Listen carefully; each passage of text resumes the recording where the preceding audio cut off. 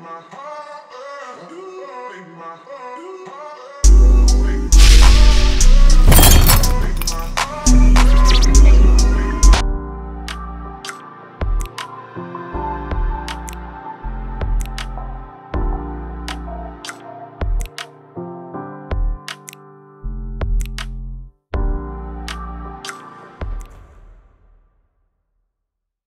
Yo, what's up, guys? It's your boy Aid Man 100X. Welcome to College Football 25 tip trick Video to help you guys get better at the game. But before we jump into the video, make sure you visit my website, KoolAidMan100X.com.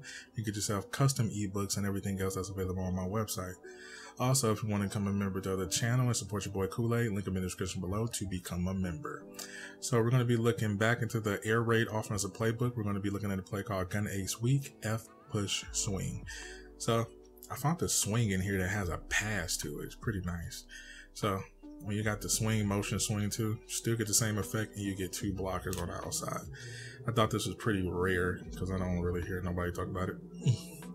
so you got a swing with two pass plays out of it actually. You got an out route that you can throw. Um, and you got a streak. And the cool thing about it, you can't audible out this play. You can't audible out, just let you know. But the cool thing about it is that you got nice out route. You got two plays you can throw to. and you got a streak. But my main focus is just this swing route. So once I get the swing, hit the out route, I just got two people to beat. So that's all. so this swing route will probably be the new motion, basically, because you got two blockers already on the outside here. So you can definitely do a lot of things there. So once you get this swing around, you throw it to them and they're not guarding it.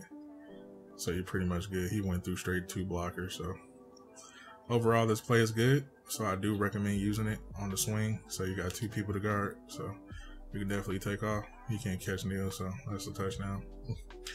so pretty good play. I hope you enjoy. Like I always say, stay locked in. I'm gonna catch you guys in the next one.